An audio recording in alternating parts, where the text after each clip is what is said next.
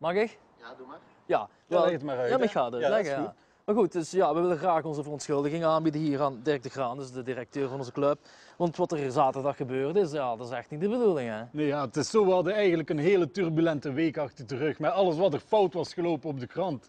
Ja, en dacht ik van ja, kom laat ons de sfeer er terug inbrengen. Dus heb ik heel de redactie meegevraagd om na, naar de match van, van Genk te gaan kijken. Ik vond het een chic zaterdag. idee van de patroon. Ja, dacht ik ook. En ik zeg van kom, laat ons bij wijze van teambuilding, laat ons een hele grote spandoek maken voor, voor onze club. Ja, we zijn dan beginnen nadenken, we moeten Ja. op die spandoek staan. En wat heeft Genk het meeste nodig momenteel? Ja, dat is een nieuwe keeper. Dat is een nieuwe keeper, hè? Ja, we laten te veel doelpunten binnen. dus we laten punten ja, we laten liggen punten liggen. Hè? Dan, wie dus is de dat beste keeper van het moment? Dat is Proto, hè? Silvio Proto. Proto. Van Anderlecht, die laat niks binnen. Hè? Dus dacht ik van ja, het was dat op, op een constructieve, maar duidelijke manier aan het bestuur zeggen met de spandoek van ja, Ja. nieuwe keeper alsjeblieft. En eh, ja, daar is het fout gelopen. Hè?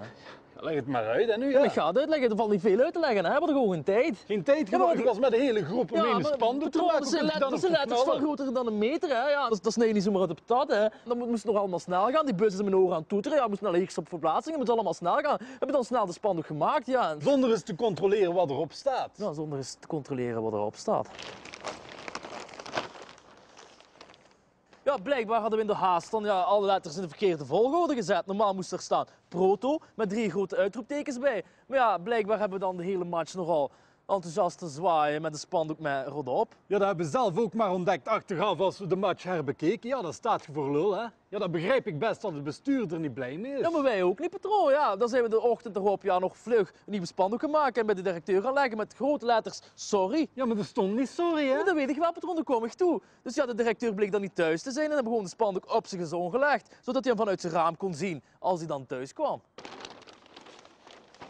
Ja, het probleem was dat er zondag nogal een stevige wind stond. Dus zijn we begonnen met kasseien op het spandoek te leggen dat hij niet ging gaan vliegen. En ja, toen die helemaal ontrold was, zag ik het weer. Er stond er weer een joekel van een schrijffout. Hadden ze sorry met Ja. twee ijs geschreven. moest snel gaan, hè? Ja, dus ik zeg, ja, dat is een klinker te veel, hè. Nee, dat heb je niet gezegd.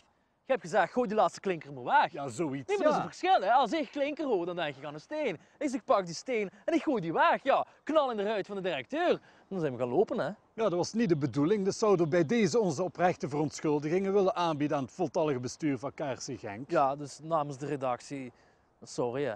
Met één ei. Ja, patroon, ja, met één ei.